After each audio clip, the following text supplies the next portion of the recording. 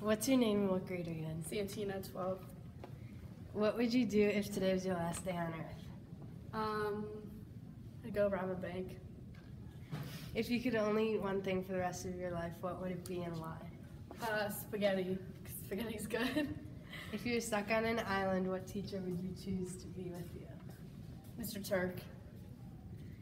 Would you rather drink expired milk or swallow hairball? Swallow hairball.